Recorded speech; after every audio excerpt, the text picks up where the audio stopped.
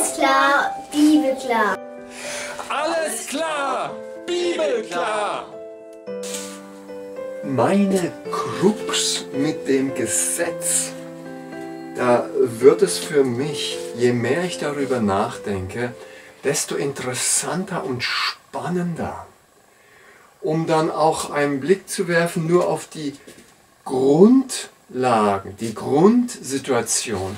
Dann kann ich die Frage stellen, die von Gott in der Bibel eindeutig vorgegebenen Gesetze, wo kommen die her? Ja, ist es denn gegeben von einem Teufel für uns? Nein, natürlich nicht. Im Gegenteil.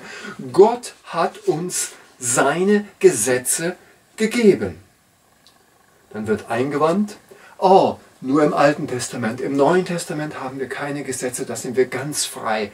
Das ist wieder dieser Täuschung, von diesem Missverstehen, wo ich so geneigt bin, biblische Tatsachen, Wahrheiten anders aufzufassen, als wie sie hier eindeutig stehen.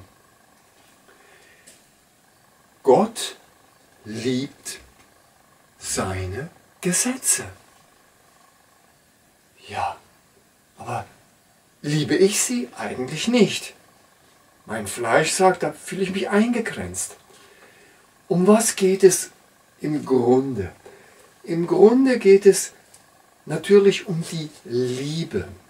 Und Gottes Liebe hat sich entschieden, ich gebrauche Gesetze, damit ich den Menschen zeigen kann und, und, und unter Beweis stellen kann, wie lieb habt ihr mich, oder wie sehr liebt ihr euch selbst.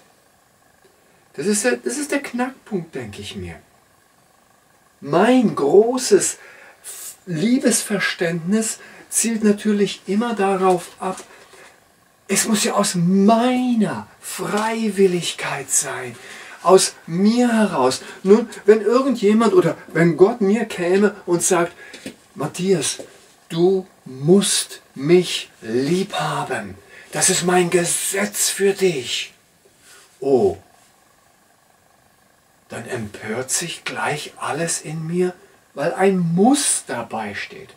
Selbst wenn die Gerechtigkeit dann ganz logisch auch dazu fügen würde, ja, du musst Gott lieb haben, weil er ist so arg liebenswert. Er ist so gut, dass es eigentlich gar keine, gar keine andere Resonanz von deiner Seite als Mensch gibt, ihn zu lieben von ganzem Herzen, mit allen deinen Kräften, mit deinem ganzen Wesen. Sollte es nichts anderes geben. Doch nun ist da dieser wurmstichige kleine Matthias, der erwidert, aber wenn ich es muss und ich es nicht von meiner Freiwilligkeit abhängig mache, ja, dann ist es erzwungen. Und was erzwungen ist, das ist keine Liebe. Und deswegen sagt mir auch mein Stolz, ich, ich, ich möchte selber entscheiden, wen oder was oder wie ich lieb habe, in welchem Maße. Das ist meine Sache, weil meine Liebe gehört sozusagen, meine Liebesfähigkeit, das gehört doch mir. Und ich gebe mein Herz doch nur dem, wo ich von mir aus möchte. Und da sehe ich, kommt wieder diese Krux, diese Problematik, dieses Seelenschmerz. Äh, Was mache ich? Wie reagiere ich? Wie hantiere ich dieses Gesetz, was doch eigentlich von mir selbst heraus, von meinem innersten Wesen nichts anderes vorhanden sein sollte, als nur, mein Gott, ich vergehe vor Sehnsucht nach dir, nach dem Austausch mit dir, nach der Liebesverbundenheit mit dir. Nichts, nichts ist mir so viel wert. Das ist doch wunderbar. So bin ich aufgestellt, so bin ich innerlich äh, fokussiert auf diesen Gott. Und dann findet sich heraus, wenn ich es nur als Gesetz verstehe, halt, halt, halt. Oh, ich gebe euch nur eine Gesetzesbürde, damit ihr sozusagen in eine Gefängniszelle hineinkommt, wo ihr dann nur lernen sollt, dass euer Gemüt mitten zwischen diesem Gitterwerk der Gebote und Satzung, euer Gemüt muss so frei wie ein Vogel innerlich im Glauben, äh, in irgendwelchen Freiheitsempfindungen sich gut fühlen, äh, angenehm sein. In Wirklichkeit, ihr hängt fest mit der Konfrontation. Ich will kein Gefängnis. Ich will keine Reglementierung. Ich will die wirklich echte Freiheit. Oh, ich soll Gott lieb haben und natürlich auch das, was ihm lieb ist. Aber jetzt muss ich zu meinem Schrecken entdecken, dass genau diese hochheiligen Anforderungen mich in den Schatten stellen meiner Unfähigkeit, meines eigenen Bankrotts. Ich kann die Gesetze Gottes nicht halten, weil ich sie gar nicht liebe, weil sie mir ja zeigen, wie verkehrt, verdreht, verirrt, stolz, voll von mir selbst, wie bin ich denn gesinnt? Oh, schließlich wird genau das Gesetz Gottes meine Feindseligkeit gegenüber seiner Heiligkeit, seiner Liebe, seiner Wahrhaftigkeit, das wird es hervorbringen. Dann ist genau das Gute, Vorteilhafte für mich etwas Inakzeptables, wo ich einen Kampf, einen Streit habe. Denn wie geht es mir als stolzem Egoisten?